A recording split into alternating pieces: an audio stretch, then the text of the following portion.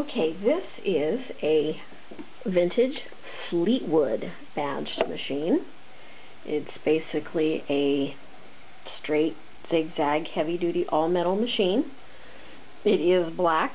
It is in beautiful cosmetic condition as you can see. It has some very very light use scratches on it but lots and lots of shine reflection in the surface. No cracking, peeling, crazing, flaking, as most black machines will do. Very easy to operate. Adjustable stitch width here using this lever. Uh, these are the locks. We'll lock it in place. This is the stitch length with reverse all the way up. Three level feed dogs here. Bobbin winder on the wheel. Uses 15 by 1 needles. Class 15 bobbins. And it is a high shank machine standard high shank. Comes with a zipper foot, straight stitch foot, and some bobbins. It is tabletop ready or will fit in any Singer type cabinet or carrying case. It shares the same dimensions with Singer. Very smooth machine. It's 1 amp. Works very nicely. Have not found a instruction manual for it yet still on the lookout.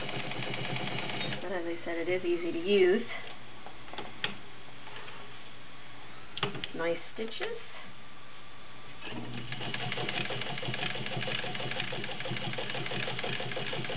A left homing needle machine. Needle homes on the left.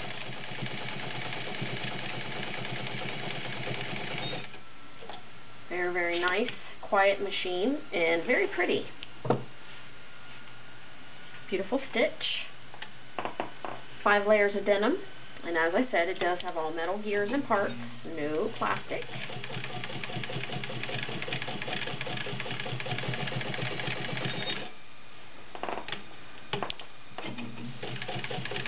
Machines aren't often black unless they're the classic Singer, or there's a couple models of Necchis that are black.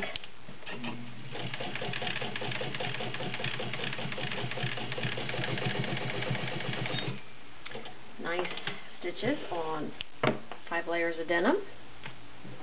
And this is 10 layers of cotton.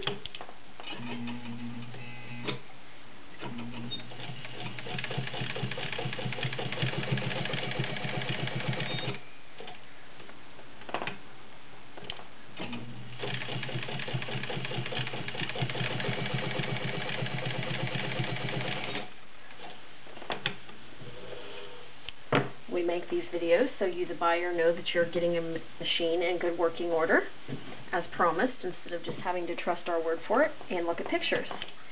Two layers of nice weight upholstery or garment leather using a size 16 needle.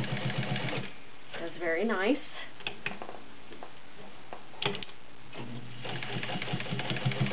Not an industrial machine by any means, but will handle some heavier projects. Beautiful stitch on the leather. And that is your Fleetwood Model 690 1 amp vintage zigzag black machine.